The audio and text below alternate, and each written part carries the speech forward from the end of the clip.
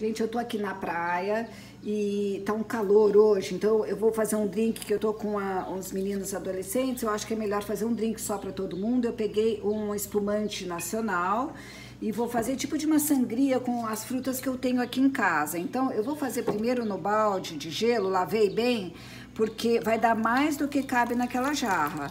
Então eu vou colocar uma garrafa do espumante.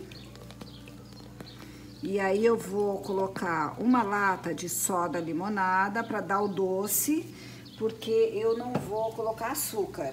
Então, o soda limonada, ele dá assim o, o, doce e o gostinho de limão, fica gostoso. Uma lata. Então, uma garrafa de espumante, uma lata de soda limonada.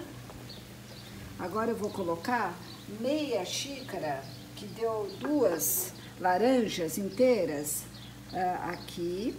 Então, vou coar aqui meia xícara, duas laranjas, suco de duas laranjas. E agora, eu peguei as frutas que eu tenho em casa, que são a mexinha, tinha uma mexinha bem doce, pequenininha. Então, eu vou colocar ela, parti ela, fatiei. Vou colocar a, toda a mexinha, que tinha umas 20 ameixas.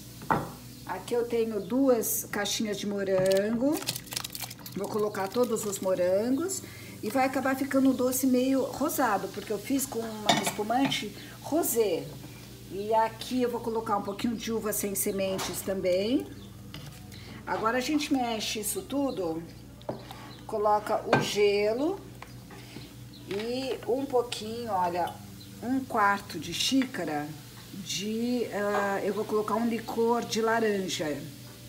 Você pode colocar o licor que você tiver. Eu coloquei aqui o licor de laranja, de mandarim, de tangerina, na verdade. E aqui dou uma mexida e coloco o gelo. E aí vou colocar nos copos também. Eu vou colocar o gelo agora, porque eu já vou servir já agora. Senão ele água o drink. Senão, se for para servir mais tarde, deixa na geladeira. E aí põe o gelo só na hora de servir. Vou deixar esse pouco de gelo para pôr nos copos.